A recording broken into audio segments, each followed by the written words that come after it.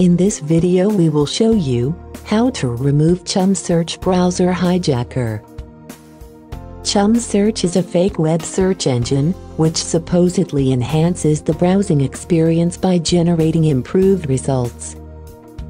Chum Search is promoted using a deceptive marketing method called bundling. It usually installs together with fake Flash player downloads.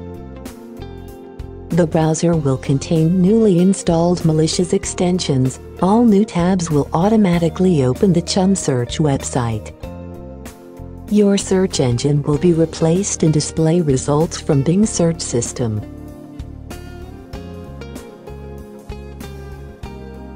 Usually, Chum Search Browser Hijacker infects all web browsers, including Google Chrome.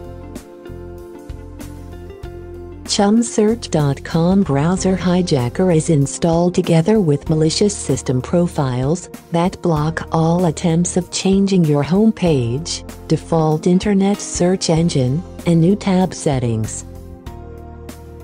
To remove ChumSearch browser hijacker, visit combocleaner.com.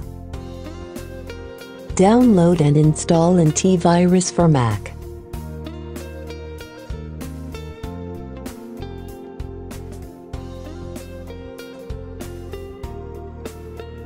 Double-click Combo Cleaner DMG file to mount it.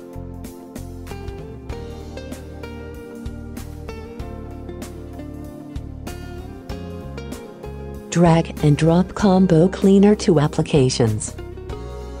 When installation finishes, close all windows and open your Launchpad to start Combo Cleaner. Confirm your actions by clicking Open. Wait until database update finishes and select premium feature called antivirus.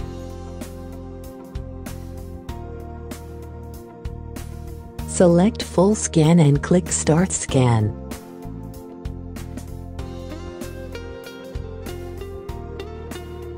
Combo Cleaner scans your system and detects all infected files.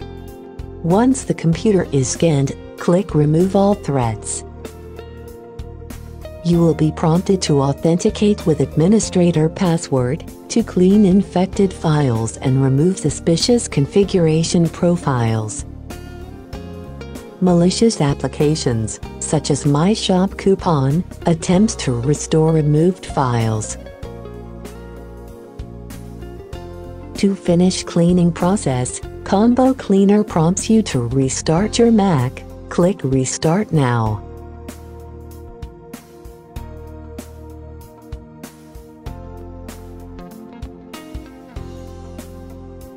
The last step is to change your home page that was locked before removing infected files and remove all existing extensions.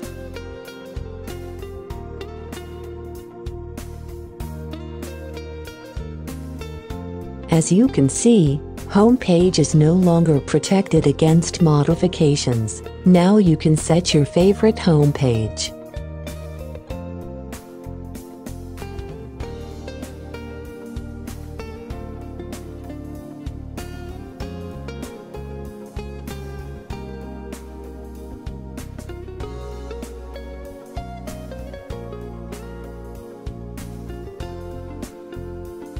In some rare cases, you may find malicious applications icons and folders, such as My Shop Coupon and My Mac Updater under Applications folder.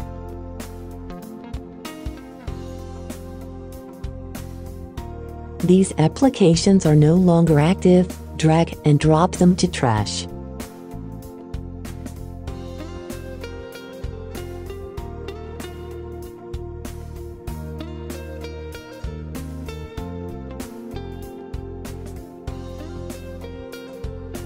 Thank you for watching.